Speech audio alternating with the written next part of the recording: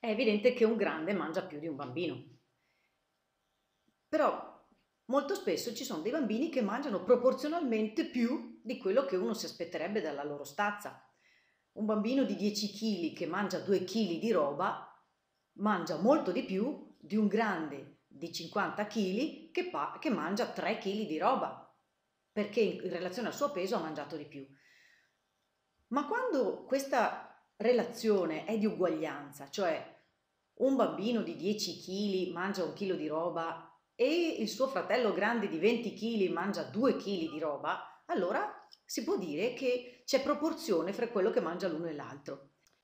Questa uguaglianza nei rapporti può essere resa tramite la proporzione in forma generale che ho scritto qua su. A sta a B come C sta a D. Se poi per caso B è uguale a C, allora si può scrivere A sta a B come B sta a C. Immaginiamo un gigante che abbia il braccio lungo come tutta l'altezza di un bambino, ma quel bambino è figlio del gigante, quindi ha le stesse proporzioni del gigante. Allora, nella proporzione continua scritta sotto, si potrebbe visualizzare così. Il braccio del bambino sta all'altezza del bambino come l'altezza del bambino, che poi è lunga come il braccio del gigante, sta all'altezza del gigante. Cioè A sta a B come B sta a C. Facciamo anche un esempio numerico di queste proporzioni. Una proporzione normale potrebbe rappresentarsi così. 15 sta a 5 come 9 sta a 3. D'altra parte questa uguaglianza è vera, 15 diviso 5 fa 3 e anche 9 diviso 3 fa 3, quindi è giusto scrivere questa uguaglianza.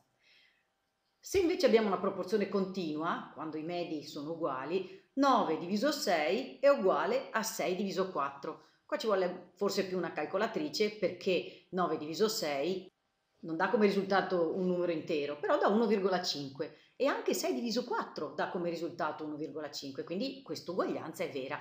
Siamo davanti a proporzioni vere.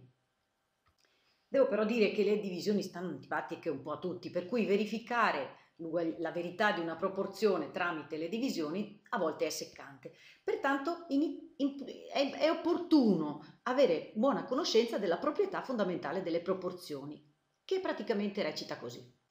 Il prodotto dei medi è uguale al prodotto degli estremi. E questo si vede per esempio quella che abbiamo appena analizzato. Se facciamo 5 per 9 viene 45. Se facciamo 15 per 3 viene di nuovo 45. E quindi questa proporzione, in virtù della proprietà fondamentale delle proporzioni, è una proporzione vera. Guardiamo anche quella continua. 6 per 6 fa 36, 9 per 4 fa 36. È vera anche questa? Proprio come avevamo stabilito quando avevamo fatto le divisioni. Ecco di nuovo altre proporzioni, una normale e una continua. Verifichiamo. 4 per 5 e 10 per 2 è vera? Oppure quella continua. 8 per 8, 32 per 2, danno lo stesso risultato? Ebbene sì, si tratta ancora di proporzioni. Infatti 4 per 5 fa 20, così come 10 per 2 e 8 per 8 fa 64, come 32 per 2 fa 64. Insistiamo anche con quest'altra coppia di proporzioni, una normale e una continua. Sono proporzioni o sono uguaglianze messe a caso? Ci conviene fare la divisione o applicare la proprietà fondamentale delle proporzioni? Io dico che ci conviene applicare la proprietà fondamentale delle proporzioni. Proviamo a farlo e vediamo poi se i ragionamenti erano andati a buon fine. Ebbene sì, si tratta di una proporzione, infatti 4 per 9 fa 36 e anche 12 per 3 fa 36, così come nella continua 4 per 4 fa 16 e anche 16 per 1 fa 16. Sono due proporzioni, effettivamente. L'uguaglianza è verificata. Proviamo a farlo e vediamo poi se i ragionamenti erano andati a buon fine.